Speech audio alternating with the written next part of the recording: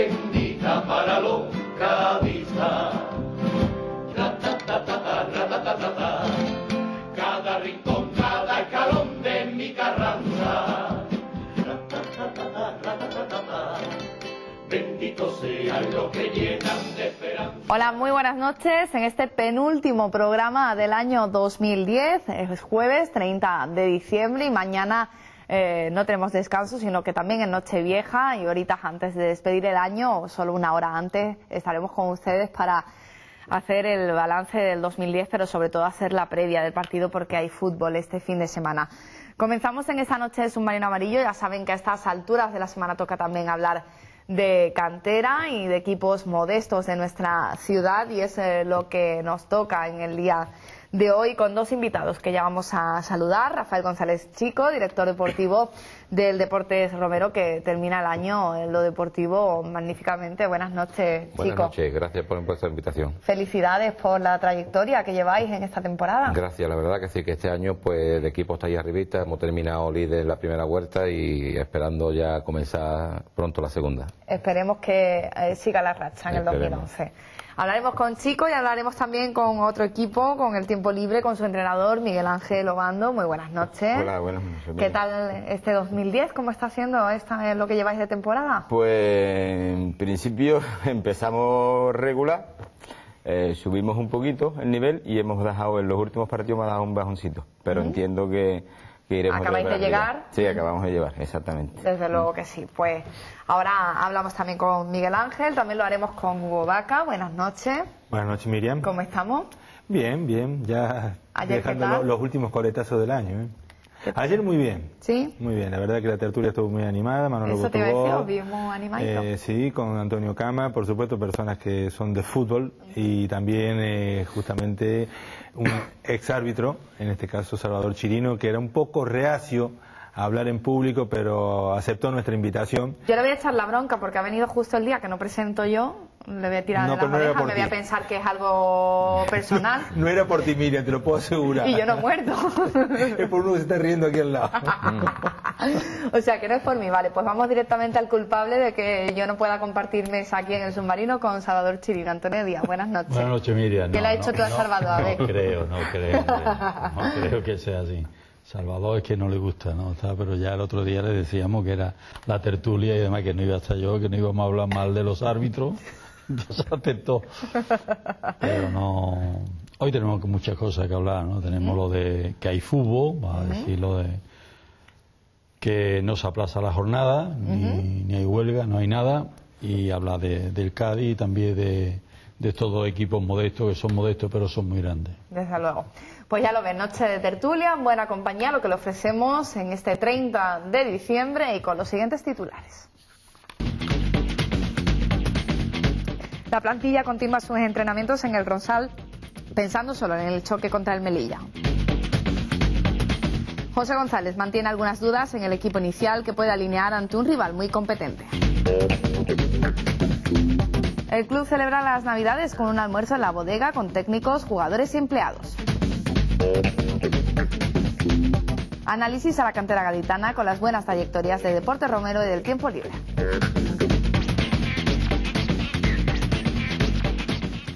Pues ya ven el menú que le hemos preparado para esta noche de jueves eh, 30 de diciembre. Empezamos como siempre hablando del Cádiz antes de entrar en materia eh, de lo que corresponde realmente a nuestros invitados del Deporte Romero y del tiempo libre. Lo haremos dentro de unos minutos, pero antes siempre nos gusta empezar hablando de la trayectoria del Cádiz, de cómo despedimos el año 2010 en el equipo. ¿Quién se estrena, Chico o, o Miguel Ángel? Con Miguel al Cádiz, Ángel, con respecto al Cádiz, ¿cómo estás viendo la evolución que, que viene tomando? Siempre se toma la, la referencia, evidentemente, de, de la llegada de, de José De- González al claro, equipo. claro. Yo la verdad que por motivos de, de coincidir el partido lo he visto muy poco, porque soy socio del Cádiz. Eh, lo que sí me han comentado que en defensa lógicamente ha, ha ganado seriedad y lógicamente para ser un buen equipo tienes que empezar por la defensa, por lo menos desde mi punto de vista. Y las piezas pues las están manejando en principio bien.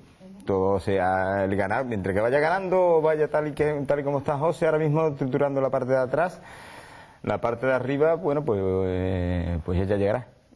Bueno, pues le preguntamos también a, a Chico, ¿cómo ves? ¿Optimista? ¿Buenas sensaciones? Yo creo que la línea de José ya la conocemos porque es un entrado de aquí de, de Cádiz de la casa y sabemos que es un hombre muy serio y sabemos que este equipo mm, José lo va a llevar hacia arriba y como dice Miguel Ángel, mm, lo principal que ha hecho José ahora mismo ha sido la defensa, trabajarlo un poquito porque sabemos que allí es donde falla un poco el Cádiz, pero independientemente el trabajo de José ya se está notando.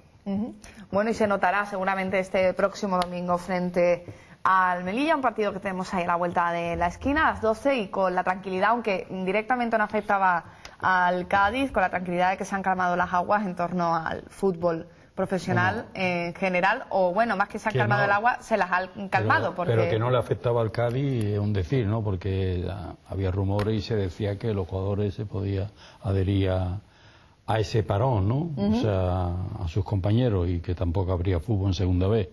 Lo que pasa es que la decisión ha, ha sido de la justicia y, y habrá fútbol, vamos. Hugo tiene por Más un defecto en la forma, a lo mejor, Hugo, de que directamente a quien han recurrido no era eh, la entidad responsable de a lo mejor poner paz en ese, en ese asunto mediar. La Sí, liga. sí, sí. se equivocaron posiblemente de, de a quién tenían que denunciar. Ellos denunciaron a la Liga de Fútbol Profesional, pero esta competición, para algunas cosas, sobre todo la Liga de Fútbol Profesional, aglutina los 42 equipos, los 22 de segunda y los 20 de primera, y la Real Federación de Fútbol, Red Española de Fútbol, es la que hace los calendarios. Aquí el calendario es el que se hizo en el mes de junio, pero que hasta ahora no salió a colación el tema. Esto simplemente eh, se arregla de una sola manera, con dinero. No. O sea que la única manera de arreglar, eh, y aquí el problema estaba, y ayer lo comentábamos en la tertulia, que el Cádiz también tiene mucho que decir en esto. Porque resulta que la deuda más importante es la que tiene el Real Betis con sus jugadores. Tiene, se habla de 9.200.000 euros. Qué barbaridad. Una barbaridad de dinero. El Betis que ficha jugadores para estar ahora primero en la liga.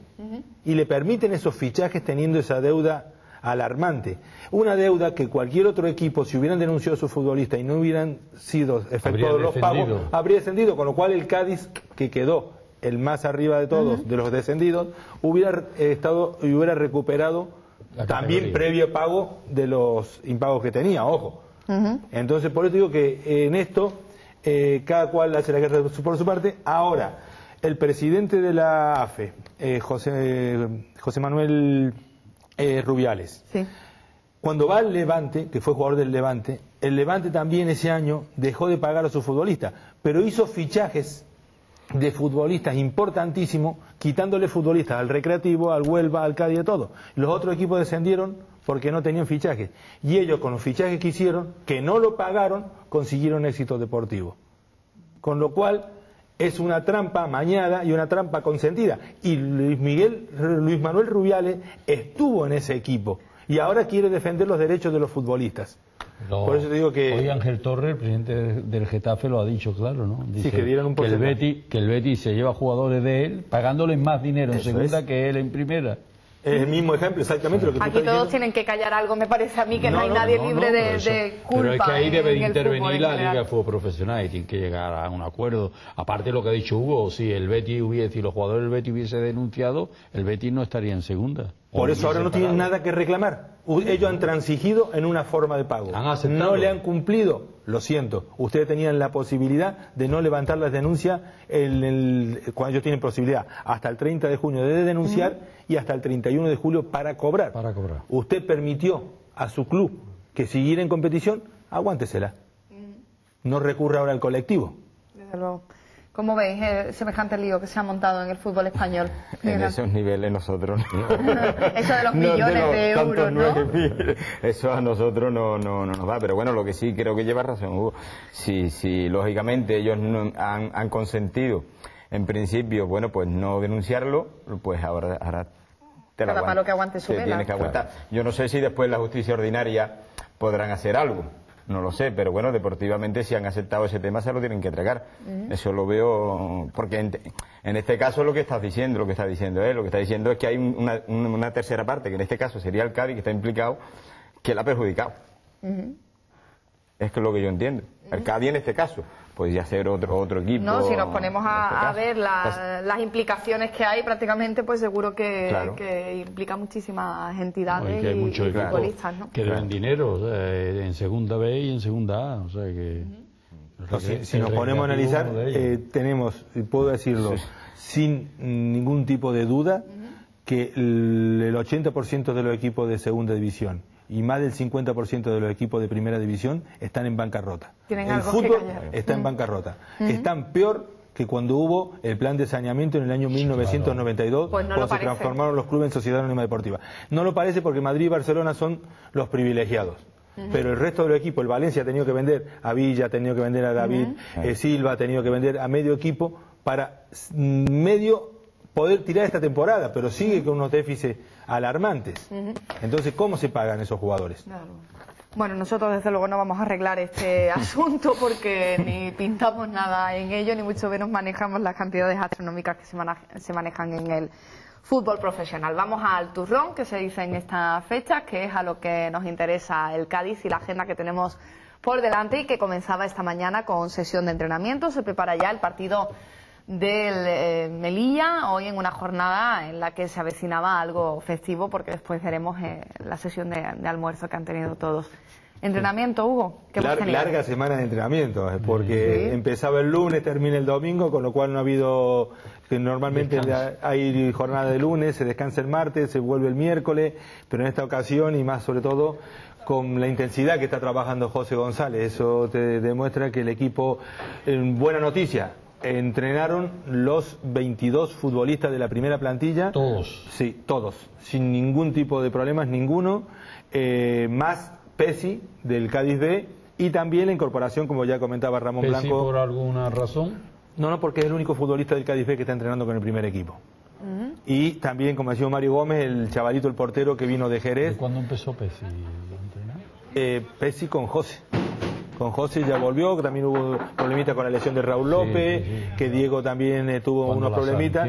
cuando se puso malo Cifuente, que Efectivamente, jugó en Caravaca, Pesi, Sí, sí, sí. que ganó el, el primer partido de José González. Por eso digo que, que bueno, no, es que lo de Pesi, yo qué sé. A ver que si Cifuente vuela. Bueno, ahí vemos a Cifuentes charlando con Álvaro Silva. De momento no se ha hablado, no ha habido ningún tipo de comentario, no ha habido ningún tipo de rumores en cuanto a que, bueno, eh, de Cifuentes se está hablando desde el principio de temporada. Ya, que como uno de los jugadores que, que se le debe mucho dinero y tal, su contrato es muy alto y puede tener la posibilidad de, de salir, pero vamos, sería un palo fuerte para el Cádiz. ¿no? Y yo sé que el Ceuta está ahí, ¿eh? Sí, pero el. Ceuta no va a pagar lo que le está pagando el Cádiz. Pienso yo, vamos, de todas formas, entre Ceuta y Cádiz no creo que Cifuentes tenga ningún tipo de duda. No, ya, pero en, es que no dinero, en dinero sí. Exacto. Sí. Lo que paga el Ceuta hoy no lo va a pagar el Cádiz. Ahí para los entrenadores, bueno, en este, este rondo con que empieza José siempre hay varios tipos de rondo, no todos son iguales. Eh, este era más distraído, era más para desentumecer los músculos, más para estiramiento sin tener muchas, mucha intensidad. Eh, un, rondo, un rondo que, que bueno, eh, para tocar, para introducirse un poquito en el entrenamiento. Eh, había tres grupos, como eran 22 más los dos jugadores que habían venido, eran tres grupos de ocho y como siempre, ¿no? O sea, lo bueno es que, que se está trabajando con mucha intensidad, eh, los jugadores están respondiendo y no hay ningún tipo de lesiones. ¿Ha habido algún castigado en el centro mucho tiempo o no? Eh, sí, hubo, hubo Dale, Gómez, dale. el portero, la, la primera vez que eh, le tocó junto con Raúl López. La- la Raúl López. La novatada, la. Con Raúl López. Y Sí. sobre Y no mordió Raúl. Perdón, sobre alineación. sobre alineación, ¿viste algo para el domingo? Bueno, ahora mañana también- entrena el equipo, pero es a puerta cerrada, no se podrá ver nada. Hoy eran las últimas pistas. Claro, eh, tenemos que tener en cuenta la baja de Carlos Caballero. O sea, Sancionado. tiene los dos partidos de sanción después de la expulsión del pasado fin de semana en Roqueta. Una baja que obliga a José a, a que tener un poquito de quebradero de cabeza porque justamente él con su sistema, ese 4-4-2 que quiere emplear, le falta ese hombre para que juegue de segundo punta. Eh, Carlos Caballero circunstancialmente lo está haciendo ahí porque tampoco es la característica de futbolista que quiere, pero justamente se le va eh, Carlos Caballero y ahora él tiene variantes diferentes. Puede entrar lo de Hugo García para jugar con doble delantero centro con Pachón. Puede jugar también Aarón Bueno por banda y López Silva jugar de enganche o como segunda punta. El propio Velasco puede jugar en esa posición con Enrique en la derecha. Son las opciones que también él lo, después lo dice en rueda de prensa. Y nosotros opinamos y creemos que va a ser Aarón Bueno el que juegue por banda izquierda y López Silva que juegue con, acompañando a Pachón arriba. Como Carlos Caballero, ¿no? Haciendo la función que está haciendo Carlos Caballero. ¿Os gusta la, la opción, visto que Carlos Caballero evidentemente no puede jugar por, por sanción? Bueno, está claro que el que mejor lo sabe es él, que el que está trabajando con el grupo, pero eh, por supuesto él tiene que buscarle la solución a la plantilla y yo creo que sí, que yo creo que es la mejor solución. A ver también qué es lo que pasa con el mercado de invierno, porque ha hablado Hugo de salida y Antonio de, de la posible salida de Cifuente. Hablamos también de entrada. ¿Ustedes sois más de pedir un delantero o un portero? Yo creo que el Cádiz necesita un portero, creo, porque la situación de, de- del Cádiz ahora mismo en la portería la veo un poquillo lo más flojito que puede tener ahora mismo el Cádiz. Pero también un delantero, la verdad que hace falta meter goles para ganar los partidos y el Cádiz ahí está justito. ¿Qué le pide tú a los Reyes? No, bueno, independientemente de eso, yo que quiero saber, porque el Cádiz como está jugando con 1-4-4-2, es que lo que me estás diciendo es que en un segundo punta, entonces ya no estamos jugando con 1-4-4-2. Vamos a ver, Es que eh, dependiendo del sistema que emplee José, así tiene que tener refuerzo. Yo es que Eso que es lo que está pidiendo José. Para jugar un 4-4-2, es indiscutiblemente las, caracter- las características, como decía antes, de Claro. Carlos Caballero no son para jugar de segundo punta. Él es más para jugar de enganche. En un 4-2-3-1. Claro, que es lo que te quiere a lo referir. que voy, claro. Lo que pasa es que José quiere que esté jugando más arriba, para salir y presionar la salida de la defensa, tener los dos hombres arriba. Sí, sí. Y después cuando llega, incluso juega con un 4-1-4-1. ¿Entendés? Porque juez se desengancha José Claro. Miguel Caballero y queda Álvaro Jurado como pivote. Claro. Entonces, un poco son las características. Vos sabés que el sistema Claro. vos lo empleás cuando defendés, cuando Es- te atacás tenés que cambiar el... es que es que el tema es este, es que todo el mundo va diciendo por ahí, es que el sistema no, el sistema tú empiezas con un sistema y a lo mejor en momentos puntuales estás, estás trabajando de otra manera. Entonces el sistema un 1-4-4-2, bueno, eh, a lo mejor en, en ataque, en defensa a lo mejor es No al los revés, 90 ¿no? minutos, claro. Entonces confundimos mucha gente, yo te digo porque yo normalmente no estoy aquí, estoy ahí detrás, ¿eh? viendo y, y la verdad que me, me, me surgen dudas, surgen dudas. A ver, eh, nosotros hablamos del sistema de lo que José comenta Claro. cuando él dice, yo juego un 4-4-2.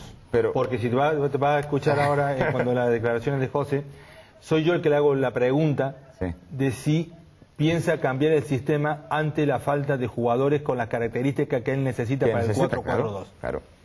Entonces él me dice que no, que de momento no piensa cambiar el sistema. Entonces por eso le está pidiendo a ver si le pueden traer los Reyes Magos Sí, claro. ese jugador que acompaña a Pachón.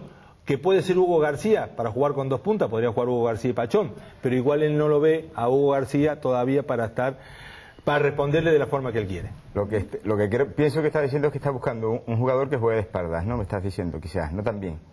Bueno, más, No. más que de espalda, eh, no tampoco, porque Pa- Pachón no es tanta referencia tampoco, pues, sino para que se muevan, para que Pa- Pachón caiga un poquito en una banda, Sí, sí, que no y otro, fijo, que no lo fijen, exactamente, no para eh, distraer un poco a la defensa, Ya, para que los aquí juegan con dos centrales, si vos tenés dos delanteros, Bueno, los centrales se pueden pero a la pregunta de Miriam es muy fácil. José, ¿qué ha pedido?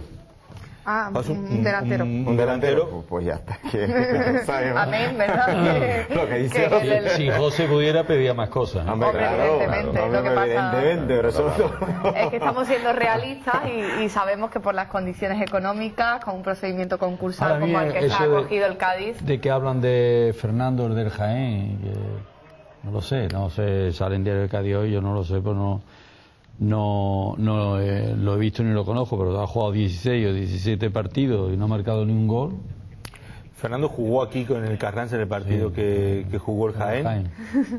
O sea que, bueno, nombres están surgiendo. Se hablaba de Tarik, un hombre que, bueno, igual está Tarí fuera de tiene, la experien- posibilidad. tiene Claro, mucha experiencia y ese no juego, ese juego en segunda vez sería buenísimo. Vamos, sería un gran fichaje para el Cádiz. Vamos, seguro, ojalá pudiera venir Tarí.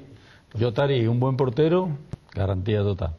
¿Tú has sido bueno? ¿Te has portado bien este año? Yo, yo siempre me porto bien.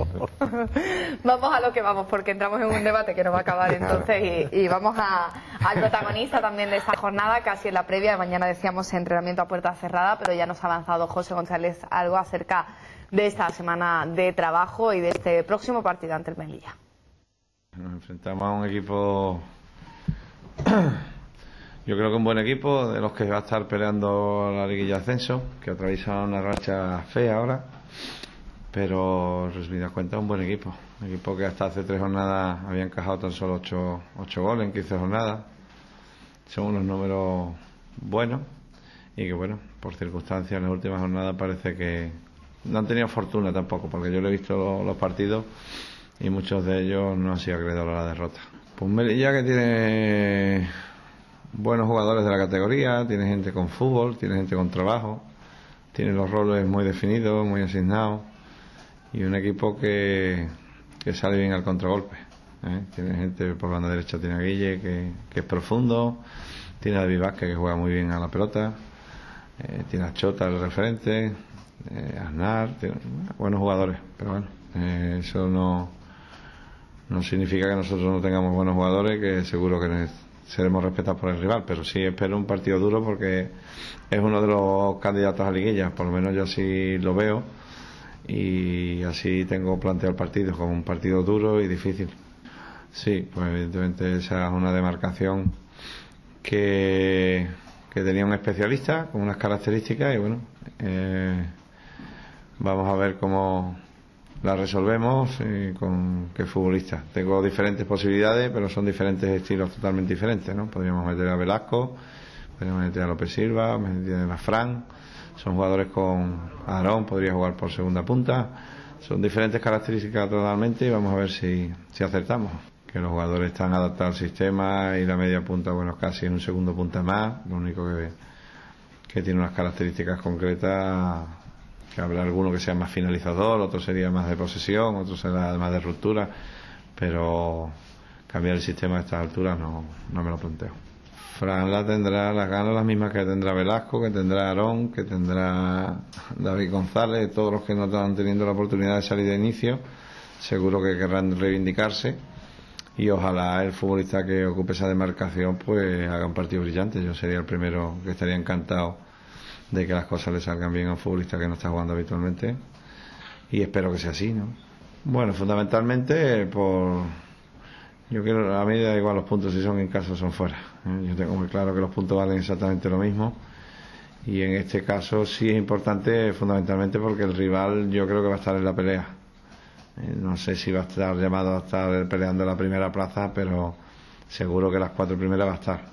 Bueno, sí, en este caso sí, el Murcia ha pegado un estirón, tiene una ventaja añadida del partido aplazado que le ha ganado, pero esto es muy largo y lo que parece ahora una distancia muy larga, ah, eh, con la liga de los tres puntos, el que tenga en medio resbalón lo pasa mal y en este caso seguro que el Murcia tendrá su momento malo a lo largo de la temporada, como quizás lo hemos tenido nosotros, ¿no? no lo voy a decir, me mira a ver si suelto algo. No, hombre, fundamentalmente tenéis que entender además, ¿no? Que el entrenador contrario, por lo que he dicho anteriormente, ¿no? No es lo mismo un, un futbolista, no es lo mismo Hugo que Fran, que, que Aarón, que López Silva, que David, son futbolistas totalmente diferentes. José Miguel puede jugar ahí también. Entonces, para el entrenador rival no es lo mismo preparar un partido con un jugador que otro. Entonces, no voy a decir quién juega. No, yo creo que estamos acostumbrados a, a trabajar a las 12 de la mañana. Normalmente entrenamos a las diez y media y yo creo que no hay tampoco diferencia horaria como para causar un malestar. En ese sentido, a ver si podemos disfrutar la tarde con la familia con tres puntos. Pues ojalá nos apuntamos a ese deseo, desde luego que sí. Mañana en cualquier caso es viernes y debatimos un poquito más acerca de posibles cambios en el titular y todo lo que apuntaba José González acerca de modificaciones. Yo creo, yo creo que va a haber más cambios. ¿eh? Sí, ¿no? Aparte del obligado de Carlos Caballero, me parece que. Puede haber alguna otra sorpresa. Mañana ya lo analizaremos con el experto en el Cádiz, don Ramón Blanco. Con el experto en alineaciones. No, y tú, hombre, la hay, pizarra hay otra, la trabajando pero ya, ¿no? otra duda, vamos, que es seguro el lateral izquierdo. Porque no sé si le volverá a contar de, con el recuperado Raúl López, si está bien, o apuesta por Diego Reyes. Pero yo creo que Pedro Vaquero no va a jugar de lateral aquí en Carranza. Creo. Pues Diego Reyes precisamente ha sido requerido por los medios de comunicación precisamente por lo que comenta Antonio Díaz, así que a ver lo que nos contesta. Sí, eh, deseando ¿no? que, eso sea así y que, y que y empezar bien el año. ¿no? Esperemos que, que lo del otro día, o sea, que empecemos ganando para olvidar la, la última derrota y sumar tres puntos que para nosotros es, es importante, empezar, empezar bien el año. Sí, bueno, pero yo creo que, que, eso es bueno para, para, para el equipo, ¿no? Yo creo que, que toda la competencia que tenga todos los puestos, contra más competencia haya, pues, pues mucho mejor, ¿no? Porque, porque mucho mejor va, va a estar el que juegue, mucho mejor lo va a tener que hacer y, y yo creo que, que eso al final pues, pues es positivo pa- para, para el equipo, ¿no? Que haya competencia en todos los puestos y, y, y- y que bueno, y que, y que, y que podamos disputar pues eso, los puestos y, y nada, y ganar los partidos, que es lo importante al fin y al cabo. Sí, la verdad que, que el día, el otro día, pues bueno, no, no fue eh, contra el Roqueta. Yo creo que, que no nos merecimos perder, quizás tampoco ganar. Un empate creo que hubiese sido justo, pero, pero bueno, eh, al final perdimos y yo creo que, que ese, ese partido ya está olvidado. Ahora hay que pensar en el Melilla y jugamos en casa delante de nuestra afición y venimos de las vacaciones y esperemos pues hacerlo bien, ¿no? Y, y sumar esos tres puntos contra el Melilla, que, que es un rival importante y y bueno, y, y- y seguir sumando nosotros. Bueno, pues que es un equipo sólido, un equipo que seguramente aquí en Cádiz pues, pues saldrá un poco a, a jugar un poco la contra y que tienen muy buenos jugadores y, y bueno, y nosotros pues estamos trabajando durante la semana para, para, para contraatacar eso, ¿no? Para, para tener el balón y, y saber, saber jugarle. Sí, y bueno, la verdad que que no porque sea la vuelta de vacaciones, ¿no? Yo creo que, que desde que ha llegado el míster José, ¿no? Los, entrenamientos están siendo intensos, pero sí que es cierto que, que igual, pues después de estar una semana parado o, o una semana de vacaciones, eh, se nota se nota un poco más, ¿no? Pero yo creo que, que la exigencia está siendo está siendo igual que, que antes de irnos. Pues yo me encuentro bien, yo me encuentro físicamente me encuentro me encuentro bien y deportivamente pues pues igual, ¿no? Yo yo lo que quiero es, es jugar, jugar el máximo y, y intentar ayudar al equipo. Y entonces, pues la verdad que, en ese sentido me, encuentro bien y me encuentro con ganas para, para poder ayudar al equipo. No, nosotros tenemos, no, no, no es un plus, ¿no? Nosotros jugamos en casa y, y sabemos que tenemos que, que ganar. Gane el Murcia, pierda, haga lo que haga. Nosotros tenemos que, que salir igual, con la misma mentali- me- mentalización, ¿no? Nosotros da igual lo que hagan los otros, tenemos que pensar en nosotros y, y después mirarlo, ¿no? Está claro que, bueno, que ya ha jugado y ha ganado y tenemos que tenemos que, que ganar nosotros, ¿no? Pero, pero no es un plus, un plus extra de, motivación.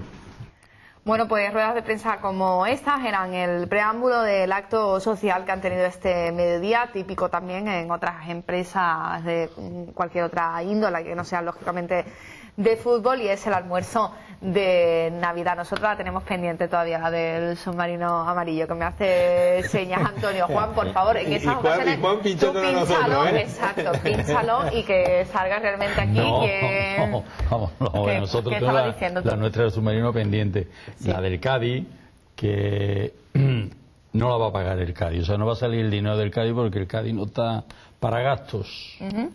Entonces ha sido un- Una gestión. hay una gestión muy bien por parte de Miguel Cuesta y del presidente Enrique Hugué, que han hablado y tal, y ha sido Antonio García de Saltar, el propietario de la bodega, y Manolo Calderón, un consejero, por medio de su empresa y otros socios más, ha sido los que han abonado esa, ese almuerzo, esa comida de, de publicitarios o Navidad. algo, no, no, no, no, ahí no se sabe.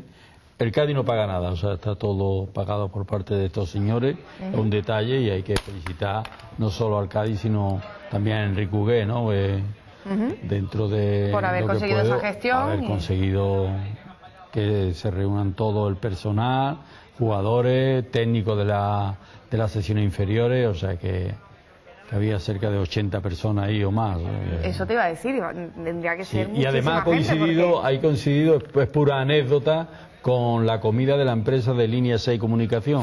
¿Qué dices? Estaba el Cádiz allí, pero ya eh, Carlos Medina tenía, tenía programada esa comida desde hace ya dos meses en la bodega, o sea que estaba ya... No me lo puedo creer. Sí, sí, pues estaba... Esto es de coincidencia, Cádiz estaba muy chico. ah, ahí está el presidente de la Asociación de los Futbolistas que se estaba... No, José Mateo. Y Cortijo está ahí comiendo, que dice que no engorda.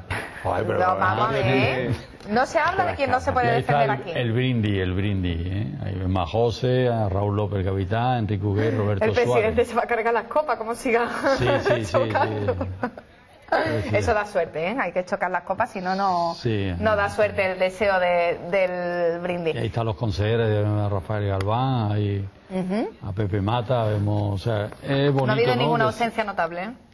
¿Ausencia notable? No. No, no. Yo veo a todo el mundo. Está el presidente y está... Había muy buen ambiente, o sea, ¿no? las cosas Lo lógico de este tipo de actos, ¿no? Está muy bien, la verdad que se lo merece que Con y austeridad. además hay que hay que felicitar a Antonio García Zaltare por ese detalle y a Manolo Caldero, no son personas, en fin, que, que han dado ese paso adelante para que se celebre El- este almuerzo en unos momentos muy delicados económicamente por parte de la entidad cadista. Y muy bien que habrán almorzado seguro porque allí se come. Ahí se come de maravilla. Pregúntatelo a Carlos Todo- Medina todas que estas está- reuniones yo creo bueno es bueno. Seguro que Deportes Romero y Bueno, Tiempo Libre Deporte también Romero, han tenido su eso iba a almuerzo, decir. su cena, ¿o no? Sí, nosotros la tuvimos también. También A ha ver. tenido, Sí, ¿no? ¿Y Nosotros, nosotros también, nosotros la hemos tenido. Modesto, no, pero no a nivel de, De eso. Y la hemos pagado nosotros. Hombre, mira, pues también está bien. La del no, submarino no. amarillo también nos la vamos a pagar nosotros, ¿eh? Hombre, ¿Verdad? Por supuesto. Eso. Ya buscaremos también un acuerdo publicitario. A ver si hay algo, ¿no? A ver si tenemos una rebajita o, o un algo, ¿no? Ahí lanzo yo la idea. Si hay algún empresario que quiera echar el cable, pues aquí estamos. Vamos a lo que vamos, que nos desviamos del tema. Vamos a hablar de cantera y sobre todo, bueno, pues eh, saben ustedes, tenemos aquí al director deportivo del Deporte Romero, al entrenador del tiempo libre. Evidentemente nos tenemos que centrar en esos dos clubes, así que eh, por una parte tenemos al líder de la regional preferente y por una parte, por otra parte, alguien que se estrena en otra ah, categoría después de su ascenso. ¿no? Vamos, le quería yo preguntar, primera temporada en la primera regional, ¿no? Primera provincial, como le llama. El equipo no empezó bien, como tú dijiste antes, luego se enmendó, pero se puso muy cerca de los puestos de arriba. ¿Y las aspiraciones reales del equipo en esta primera temporada cuál es por parte del club? Las aspiraciones, no, bueno, por parte del club, por parte mía, desde el principio era el ascenso. Eso lo tengo, lo tengo clarísimo. Pero el ascenso por decir... No, no, no, no, eh, no, no. o, No, no, no. el objetivo del ascenso porque se puede No, ascender. no, no, no. Vamos a ver. Eh, nosotros, em, lo que pasa es que lo que estuve hablando con chicos ahí en- afuera, eh, es muy complicado de forma altruista que hacen los jugadores. Nosotros no cobra a nadie. Entonces, tener una plantilla de 22 jugadores es muy complicado. Porque estamos en primera provincial o primera regional, como dice, y es muy complicado dejar a 5 o 6 en el Benz sin jugar. Entonces me vienen a entrenar, hay veces que la realidad es esa. A mí me gustaría decir otra cosa. Tengo una base muy buena, pero ¿qué es lo que pasa? Que en momentos puntuales, en momentos puntuales, pues, pues se ha fallado, se ha fallado. Y se ha fallado dos partidos, concretamente. En dos partidos nos hemos venido abajo. Dos partidos. Eh, ¿Qué es lo que pasa? Que ganando dos partidos más nos metemos otra vez ahí. Hombre, yo, la verdad que de principio de temporada tenía una plantilla confesional y tres o cuatro futbolistas se me han caído. Porque si yo llego a tener esos tres o cuatro futbolistas, mm, te puedo asegurar que estoy, si no primero, segundo. Viendo lo que he visto hasta ahora, ¿eh? Yo no sé ya en segunda vuelta los equipos si empiezan otra vez ahora a reforzarse o no. O por lo que yo he visto, por lo que yo he visto ahí, y de verdad, mm, de corazón os digo que tenemos equipo para ascender. Que no lo hagamos ya, ya es cuestión de, de lo que pase. ¿no? Pero vamos, que hay posibilidades de meterse y, Por supuesto que sí.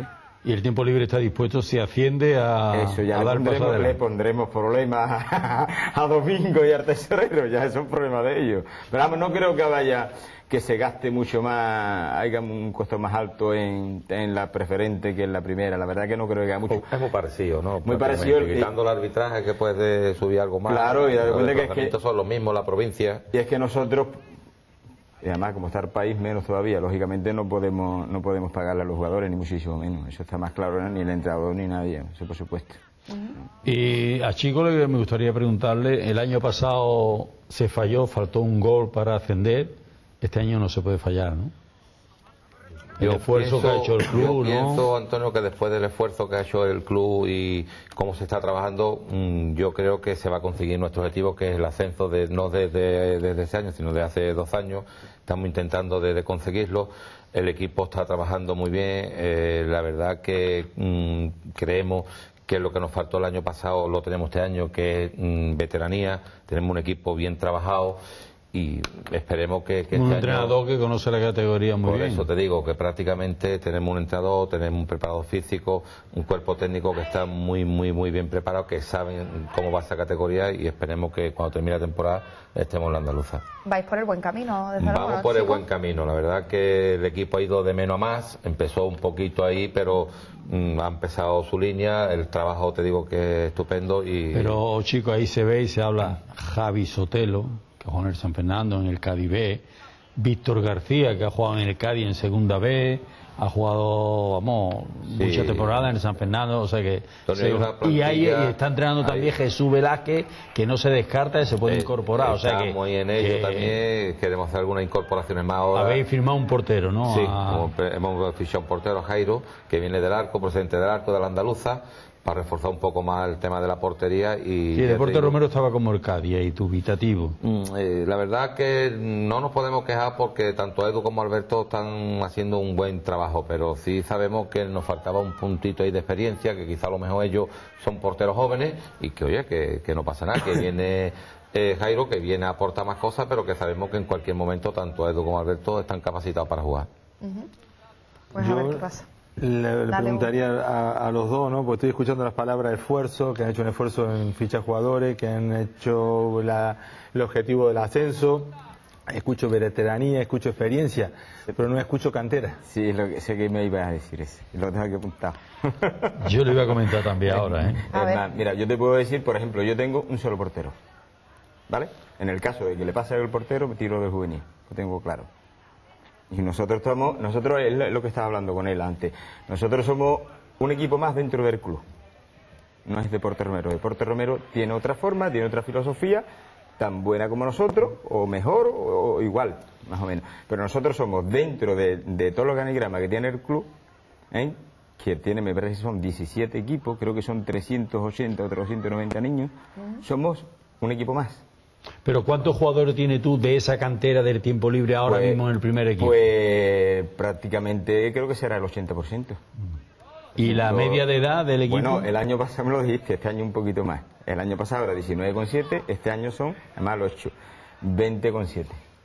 Hoy, o sea, perdón, ayer que lo hice, de 20,7. Tenemos la media de edad. Yo creo que con 20 años está bastante bien, que es lo que nos ha pasado, nos falta veteranía. Si, no, si, si yo apuesto por dos o tres futbolistas de 20, o 20 de 24, 27 años más o menos arriba, yo quizás esté un poquito más arriba, pero nosotros no apostamos por eso, tenemos que darle salida. Si no, mm, eh, se sustenta en eso, el equipo se no se sustenta en darle salida a los- a- ¿Y los ingresos del tiempo libre? los ingresos, eso yo mejor que hable con el presidente. No, pero- pero No, te- creo que va en base a subvenciones, en base a subvenciones. Por lo menos el equipo senior sé que va en base a subvenciones. Las escalas de abajo, los padres colaboran lógicamente, que son socios, y colaboran con, con el Con club. sus cuotas Con sus cuotas mensuales, exactamente. Pero el equipo senior no. El equipo senior, lógicamente, fue una de las pautas que yo le dije a, a Domingo y a la Junta Directiva, que el equipo senior, lógicamente, no va a aportar. Bastante dice ya que no cobran, lógicamente. Pero bueno, sé que va en base a subvenciones y, lógicamente, el niño que sea juvenil o sea cadete, el jugador que dentro de dos tres años esté en el equipo senior, bueno, pues, pues ahí está el equipo senior para eso. Lo que sí me, que es lo que quería, a lo mejor me extenso me- un poquito No, no, más, ¿no? Pero no te preocupes. la base fundamental de nosotros, tanto del club como de nosotros, es la educación, que es la base fundamental, y lo quiero recargar dentro del club de nosotros. Y, y- y la imagen, porque tengo mucho- muchos problemas en ese sentido. O sea, las categorías, la categoría en la que jugamos es muy complicado jugar. Es muy complicado jugar. Los árbitros, como bien dice Antonio, son, vamos allá... Muy malos. Eh, Bueno, vale, lo yo no lo he dicho, ¿vale? Y es muy difícil aguantarse. no, pero también, vamos, en esa categoría hay árbitros que están empezando. Sí. Yo a eso lo justifico. Yo no justifico a los árbitros ya veteranos y a eso que, que te chulean, no, a eso no. Sí, pero- estos chavales, yo he visto partidos de ustedes Es y, muy- mira, y Antonio, son la jóvenes, son mira, chavales que están empezando pero, Antonio, también. la semana que pasada yo creo- hay que Perdona, mira. en el pellejo de ellos. Hay que Perdona, la ayudarle, semana pasada, hay no, que la ayudarle, anterior que ¿eh? jugamos, jugamos Ahí contra el Rivera. estoy yo- Mira, jugamos contra el Rivera, ¿vale? Eh, Nos duró el Allí, partido, no, allí aquí, aquí, aquí, aquí, ¿eh? aquí, oja, aquí. Y había en la parte de en la parte del mar, no, del otro lado del Irigoyen, estaba toda la banda llena de gente de Rivera. ¿eh? Y tuvimos que parar el partido, se tuvo que parar el partido. Y duró el partido una hora y diez minutos, 20 minutos más. Nos metieron el último gol en el último minuto, no pasa nada, ¿no? Pero la impotencia de los jugadores y del árbitro es que ¿Pero era... ¿Por qué? es ¿Qué que- hacía...? Por presión La del por público. presión, por presión del público. Pero y se normal, dejan, ¿no? La y nosotros vamos a Rivera y tenemos que ir mm, acobardados, claro. y aquí en casa también. Entonces yo sí soy capaz de aguantar esto. Pero los jugadores es muy complicado aguantarlo. Pero Miguel Ángel, eh, justamente eh, yo te comprendo porque aparte cuando hemos sido chicos y hemos jugado también en esos campos, porque todos hemos crecido en divisiones inferiores y muchas veces te ha tocado jugar. Pasa que en Argentina es diferente en el aspecto que la división inferior jugaban contra ellos y los equipos senior ya, ya estaba en un equipo ya de mayor eh, potencial, ¿no? Pero eh, sí he visto partidos, ¿no? Y sobre todo también lo que tú estás comentando, la educación es primordial. Pero no solamente la educación de los niños, también la educación de los, De los padres, creo que es un, también es un caballo de batalla de ustedes que es muy difícil de manejar. Eso sí que es difícil de educar a los Eso padres, complicado. es muy complicado. Yo me conformo, eh, yo te puedo poner ejemplos, ¿no? De lo que yo. Nosotros, por ejemplo, los otros días se le fue un poquito a uno, un jugador, y le han echado tres partidos. Yo a ese futbolista lo he echado del equipo. Por- Es un ejemplo echado para los demás. Lo he echado del equipo. Por indisciplina. Eh, por indisciplina. ¿Eh? Eh, me está llamando y bueno, y no sé lo que haré, porque la verdad al final dice tú, bueno, que se te vaya la boca en un momento dado, en un momento de excitación, pues mira, pues vale. Pero que es que, es que, es que la educación es lo que yo le digo a ellos, y eso, y, y- la ventana este que me da, y la verdad que es muy buena, por los padres que me ven, el equipo no tiene que ser el ejemplo de todos. Correcto. Y nosotros tenemos, no nos podemos quitar, por ejemplo, eso lo digo yo a ellos, no te puedes quitar la camiseta, aunque sea una tontería, veáis una camiseta, no te puedes quitar una camiseta adelante eh, cuando terminas un partido, te la quitas en el vestuario. Y son ejemplos que, es que estamos hablando de gente de 18, 19 y 20 años, los que yo tengo. Son normas de conductas, y, y se hábitos. están formando. Es que parece que son mayores, no, es que tienen 20 años. Y se están formando y ellos no se dan cuenta y, y ellos lo saben. Que yo en eso soy intachable. Se puede jugar mejor, se puede, pero la educación tiene que estar por encima de todo. Y eso sí lo llevo a orgullo. Que No, jueguen mejor. pero que ya con peor, no 20 sé. años, ya con 20 años es un hombre, ¿eh? Eh, se es un hombre, pero un hombre Antonio- para todo también se tiene que hacer para eso. Sí, pero, pero, pero. Ahora, tú mm, ves un chaval con 15, con 14, con 16 Sí. años, 17, vale. Pero- Pero, ya pasando los 18, pero- 19, 20 Antonio, años... Pero a mí me han llegan, a mí me llegan jugadores que no han tenido esa formación y esa Ya, ya, educación, ya, ya, ¿vale? ese- y, y ahí eso- hay que cortar es y yo lo problema. tengo que cortar. Ese es otro Antonio, tema eh, y más por ahora. es Exacto, lo que estaba hablando. es que es Ellos muy yo creo que tienen más conocimiento de causa que nosotros de lo que están hablando. Y sobre todo porque ahora también la sociedad ha cambiado La bastante. generación es Nosotros con 16, 17 años ya teníamos una responsabilidad, Claro. ahora vos ves chicos y tenemos hijos, yo- Sí, mis hijos tienen 19 claro, años, entonces eh, ves que son bebés, que son de- todavía le falta, que falta madurar, o sea, posiblemente No, por, no, la verdad, por la nosotros forma, por el estilo de vida, Nosotros por con que se 20 está- años, con 18, éramos mucho más responsables que Claro. los jóvenes hoy, seguro. Entonces, por eso digo que me parece correcto lo que Es está diciendo. Miguel Ángel, porque realmente es importante eso que eh, en Cádiz, sobre todo donde hay tanta precariedad de sitios para hacer deporte y que eh, equipos como el tiempo libre, eh, que bueno, los Sí, niños sí, han sí. estado de chiquito también ahí, eh, como el deporte Romero, como bueno, como no, como y como mucho, como el Domingo Sabio, como la Gaditana, como mucha gente que está trabajando equipos, mucho y bien, equipos. el olímpico para, para llevar a los niños, formando a estos niños, ¿no? Claro. Y haciéndolos crecer en el deporte, que siempre, y no nos vamos a cansar de repetir, que es muy importante, con tantas posibilidades para equivocarte en la vida, Claro. que te encarriles por Que el lado del deporte, creo por que es muy importante. Hombre, por eso lo digo. Una cosa, Miguel Ángel, te iba a preguntar, ¿las relaciones del club con el Cádiz buenas? Con el Cádiz, pues prácticamente la verdad no tenemos. Yo, mm, eh, el equipo senior, mm, creo que no ha visto. mm, No, no tenemos relación. El equipo senior. El club creo que No, el en club, base yo a la hablo como asociación. club, hablo como club. Como club en base a la relación que pueda tener la asociación. Estamos metidos dentro de la asociación. De la Asociación. asociación de, que llevan ¿De Club de? Enrique, es la misma Club de que. Nada, pero bueno, en principio. No es ni buena ni mala, es. sí, es- no- Un no- equipo más, da equipo. Un equipo más y, y ya está, en principio. Con el Deporte Romero, muy buena relación. No lo preguntas, pero mal, lo ¿verdad? metemos Lo la. Y cualquiera se mete con chicos. No, ¿no? no, no, no, nos conocemos desde hace mucho tiempo y la verdad, desde hace mucho muchísimo tiempo y él sabe que lo que Él me ha pedido a mí, ha- sin problema, Siempre, yo le pedí siempre. sin problema ninguno entre los dos clubes. Ningún nosotros cuando tenemos problema. jugadores que no pueden entrar en la plantilla por circunstancias, yo lo llamo, mira Miguel Ángel, tengo aquí dos futbolistas. Le, y le, pedí un delantero centro y me, y me dice que no me lo cede. No le puedo Que eh, que se que se. ¿Y quiere hasta Borja? ¿Eh? No, no, no. Le he pedido a a ver. Sotelo, a Sotelo le he pedido. pedido Sotelo. A ver si cae. Vamos a salir de Arcadia, hombre. Vamos a salir de Lo mismo, ¿no? Por pedir, ¿verdad? Que no quede. que. Al servicio de Pedrito, la virtud no de. Y por pedir que no quede que le pedimos al 2011, yo creo que, que está claro en el caso de Chico del Deporte Romero. ¿no? Claro, nosotros ya llevamos tres años pidiéndole el ascenso y esperemos que este año los Reyes Magos se acuerden de nosotros. Esperemos que, Esperemos. que haya suerte. Me, me parece a mí que labor de concienciación y eh, está el trabajo hecho y ya sabrán más que de sobra los jugadores de- del equipo la responsabilidad que tienen sobre los hombros. ¿no? Por supuesto. eh, por eso te digo que ahora, cuando termine la temporada, pues nos veamos con ese ascenso tan ansiado y que, y que para el año que viene, pues ya Dios dirá. La clave, chico, no, le voy a preguntar, la clave en cuál puede ser para conseguir ese objetivo. Tú que ya, ya que sea media temporada, se habéis puesto líder, habéis visto todos los rivales, ¿cómo? Yo creo que la clave, Antonio, está en el trabajo diario. Yo creo que tal como se está trabajando, creo que es fundamental. Entonces, yo creo que el- mm, va a ser lo principal, mm, que no bajemos el pistón, que no nos lo creamos hasta que no lo hayamos conseguido. Y yo creo que ahí puede estar la clave en el trabajo. Y con Miguel Ángel, a ver qué le pedimos al Hombre, 2011. a mí la verdad que me gustaría que Deportes Romero ascendiese, me lo digo de verdad, de corazón, me gustaría que ascendiese porque llevan ya bastante tiempo y, creo que Paco y el equipo de ellos se lo, se lo merece. Y a nivel de club, bueno, que todos los objetivos de todos los equipos, tanto lo deportivo como lo personal, pues se cumplan, ¿no? Y no me gustaría de aquí irme sin, sin darle el pésame a, a Celu Pajares, ¿eh? que todo el mundo sabemos lo que, lo que ha pasado. ¿eh? Que un saludo y que, y que tenga fuerza, ¿vale? Pues nos sumamos desde luego a esos, Un golpe muy duro. a esos abrazos y, y desde aquí, desde todo el equipo del submarino y suscribiendo desde luego los deseos para, para ambos equipos, que haya éxito en lo, en lo deportivo, ojalá que así sea y que la crisis pase de largo, sobre todo para, para clubes que se lo trabajan muchísimo y que desde la modestia pues intentas salir adelante. ¿no? Sí, yo sobre todo pedía eso, ¿no? De que le siga teniendo fuerza para seguir trabajando, porque creo que están haciendo no solamente un trabajo, mm, más que todo es un trabajo social, ¿no? Claro. Que tanta falta hace.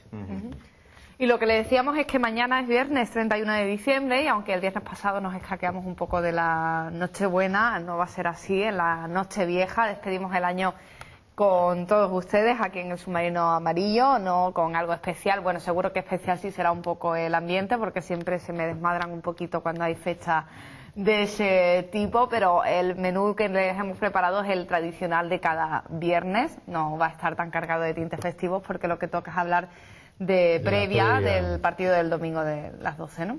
Contra el Melilla, se hablará de, de la previa y a ver si hay alguna sorpresa, ¿no? De última ¿Hay hora. sorpresas de- No sé. Lo de última hora? Lo veremos mañana a ver Ramón. Está muy intrigante, algo ¿no? a ¿A Ramón a hablar. Hoy el descanso de Ramón es relativo. Hoy tiene ¿Por descanso de plató, pero está trabajando arduamente para preparar el programa de mañana. ¿Qué me dice? Sí, sí. ¿Que hay sorpresa? No sé, eh, Ramón, se- eh, nosotros no podemos desvelar No sé, nada. no podemos decir nada. Pero si yo lo presento, yo no sé nada o qué. Bueno, ya, ya nos enteraremos. Pues ya se enterarán ustedes y yo también nos enteraremos a ver lo que le preparamos eh, mañana.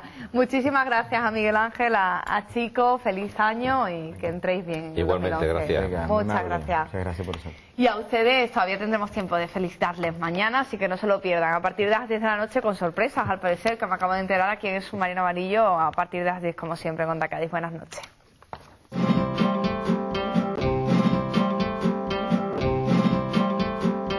Han dicho que el amarillo está maldito.